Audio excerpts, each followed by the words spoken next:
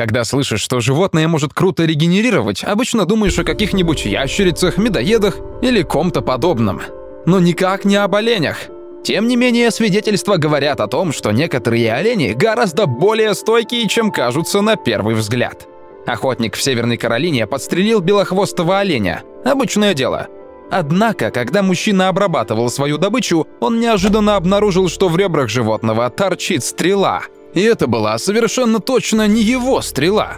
Она прошла по диагонали через пять ребер оленя, почти полностью покрывшись слоями костей. По сути, стрела стала чем-то вроде шины для поврежденной грудной клетки и не мешала оленю, а помогала ему выживать. То есть когда-то давно кто-то выпустил в животное стрелу, но та не убила оленя, а просто сломала ему ребра и застряла внутри. После этого он спокойно жил свою оленью жизнь дальше. На самом деле, хотя это все выглядит немного пугающе, специалисты уверяют, кость нередко растет вокруг структур, вторгающихся в тело. Правда, обычно это что-нибудь меньше стрелы, например, оставшиеся в жертве зубы хищника. Но оленьей регенерации в целом плевать, что именно застрянет в теле. Если чужеродный предмет не получается вытащить и он не вызывает заражения, то для организма проще просто его поглотить. И дело не только в костях. Рога северного оленя покрыты бархатистой мягкой кожей, которая обладает способностью почти идеально регенерировать. Ничего подобного никогда не наблюдалось ни у одного другого крупного млекопитающего. Любые раны на этой коже затягиваются за месяц или быстрее, не оставляя никаких шрамов. Не страдает ни пигментация, ни короткий мех. А, и не забывайте о том, что северные олени еще и сбрасывают рога. Самцы и самки делают это каждый год, и каждый год отращивают новые со скоростью до 2 сантиметров в день. Некоторые ученые даже говорят, что рога растут быстрее, чем любая другая ткань в животном мире. Ну а если вам нужны еще какие-то доказательства неожиданной крутости оленей, посмотрите на этого парня. Рана на его спине настолько большая, что это уже даже не животное, а какой-то зомби. И все же олень идет так, как будто его вообще ничего не беспокоит. О, кстати, вы когда-нибудь слышали о такой вещи, как оленьи циклоны? Когда стадо находится в опасности, олени начинают кружить вокруг охотников, образуя целые водовороты. В древности олени таким образом защищались от викингов, и даже свирепые норвежские ребята были просто сбиты с толку. Когда вокруг тебя носится столько оленей, физически почти невозможно нацелиться на кого-то одного и выбрать жертву. Думаю, еще одной проблемой было то, что олени вообще-то довольно тяжелые животные.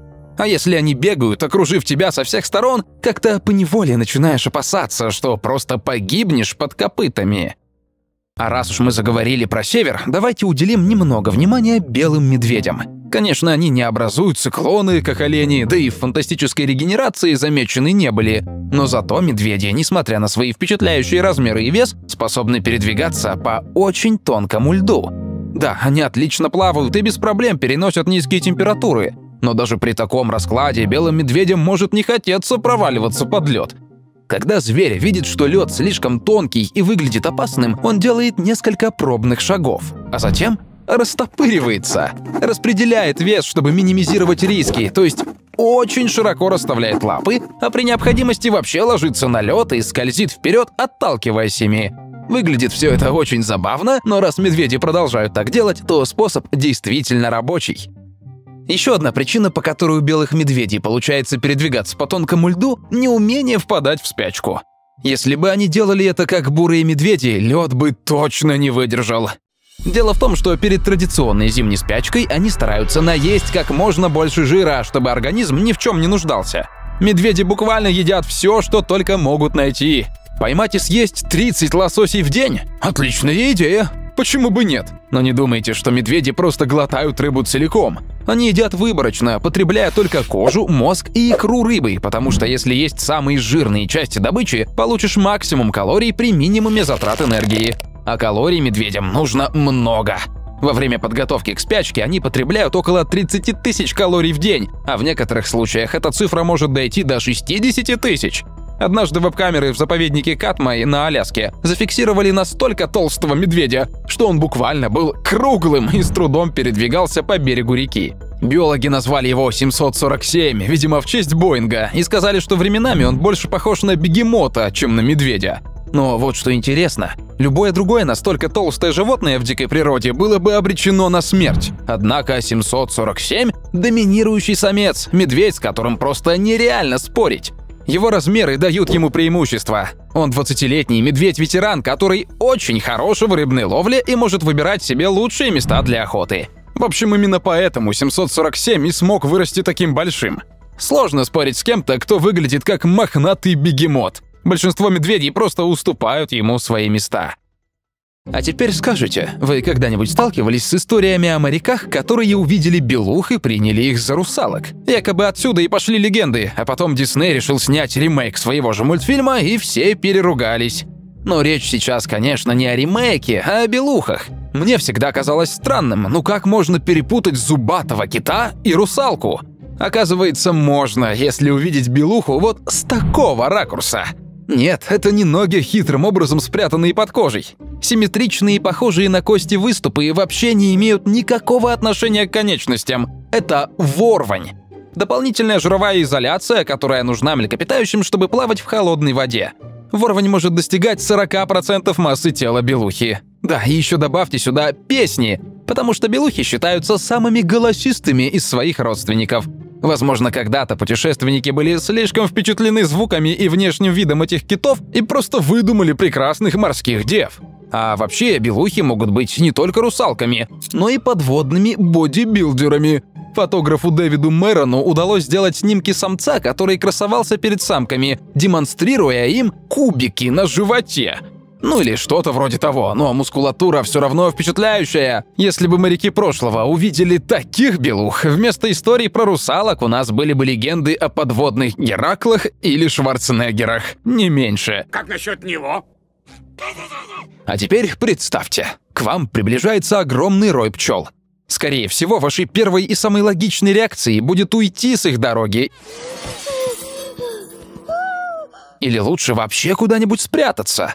Но вот интересный факт. Если пчелы перемещаются большой группой, то это часть процесса роения. Большая группа медоносных пчел покидает устоявшуюся колонию и улетает, чтобы основать новую. Такой вот способ размножения. Рой медоносных пчел может содержать от нескольких сотен до нескольких тысяч рабочих пчел, несколько трутней и одну королеву. В большинстве случаев рои не представляют особой опасности, потому что пчелы питаются перед роением и не особенно хотят кого-то жалить. Да и нового дома у них пока нет, защищать нечего. И вот вся эта компания летает совсем недолго, потом садится на какой-нибудь объект и ждет данных от пчел-разведчиков. Это может быть ветка, крыша дома или даже бок носорога. Я серьезно. Если где-нибудь посреди саванны пчелы не найдут себе другой временный аэродром, они легко могут сесть на носорога. При этом и насекомые, и сам носорог не испытают никакого дискомфорта. Как я уже сказал, во время роения пчелы не опасны, и носорог, похоже, тоже это понимает. Ну, сидят и сидят, не мешают же. А если бы в саванне можно было резко выключить свет, то все пчелы бы сразу свалились с носорога. Да чего уж там, они бы и в полете попадали. Ученые проводили эксперименты и выяснили, что пчелы валятся на землю, как только гаснет свет. Правда, ученые до конца не уверены, почему это вообще происходит. Есть несколько версий. Например, это может быть механизм навигационной блокировки, который позволяет Рою немедленно фиксировать свое положение в случае внезапных изменений погоды. То есть погода испортилась, солнце спряталось за тучами, все должны резко сесть, чтобы потом, когда все наладится, не забыть, в какую сторону двигались до этого. Если продолжать лететь в плохую погоду, слишком велик риск того, что тебя просто снесет ветром в неизвестную сторону, и ты погибнешь. Так себе перспектива. Еще один вариант – использование пчелами положения Солнца в качестве навигатора. Как только Солнце, ну или его электрический аналог, перестает светить, пчелы сразу же прекращают движение, потому что не очень понимают, куда им, собственно, надо двигаться. Или же это просто так называемая реакция жертвы. Как только над пчелами возникает тень от крупного хищника, они падают на землю, где у них меньше шансов быть обнаруженными. Короче, как бы там ни было, все это очень интересно. А пока ученые исследуют причины падения пчел в темноте, Google берет верблюдов на работу. В 2014 году компания наняла верблюда по кличке Рафия, чтобы сделать снимки для Street View в пустыне. Вернее, в оазисе Лива, крупнейшем на Аравийском полуострове. Территория шириной 100 километров оказалась неподходящей для обычных автомобилей, а вот верблюд легко справился с таким маршрутом. Вообще, этот верблюд стал первым животным, на котором была установлена камера для трекинга от Google. Но вряд ли он оценил свою роль в истории. Как и хомячок Чарли, который управлял грузовиком. Да, хомяк-дальнобойщик. Он появился в ролике, созданном шведским рекламным агентством Forsman Bodenfors для Volvo Trucks. Тогда компания как раз запустила новую технологию, которая сделала даже тяжело нагруженный грузовик легким и маневренным. Настолько маневренным, что хватило хомяка весом 175 граммов, чтобы провести грузовик по узким неровным колеям в карьере. Чарли помогал опытный каскадер, он занимался педалями. Люди спорят, действительно ли хомяк мог рулить грузовиком или это только маркетинговая уловка. Но эй, выглядит-то в любом случае круто.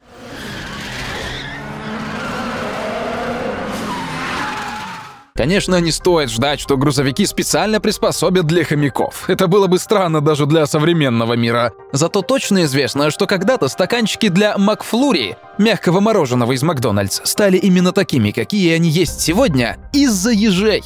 Вообще конструкция довольно простая. В крышке есть отверстие, чтобы можно было доставать мороженое ложкой. Однако некоторые из старых поклонников Макдональдс могут помнить, что до 2006 года отверстие в крышке было намного больше, чем сейчас. Как оказалось, дизайн пришлось изменить из-за ежей. Их привлекал запах сладкого мороженого, зверьки рылись в мусоре, пытались достать его и застревали головами в крышках. Звучит абсурдно, но именно это стало причиной. Британское общество охраны ежей провело кампанию за изменения, и в 2006 году Макдональдс сделал отверстие меньше, чтобы ежи не могли засунуть голову внутрь. Помогло ли это? Ну, в целом, наверное, да, но полностью проблему так и не устранили. Люди продолжают выбрасывать мусор где попало, мороженое все еще пахнет вкусно, а ежи все еще полны решимости до него добраться. Поэтому время от времени они застревают и попадают к ветеринарам. Короче, самый надежный способ – правильно распорядиться упаковкой из-под мороженого, чтобы она точно не стала дурацким воротником для бедного голодного ежа. До скорого!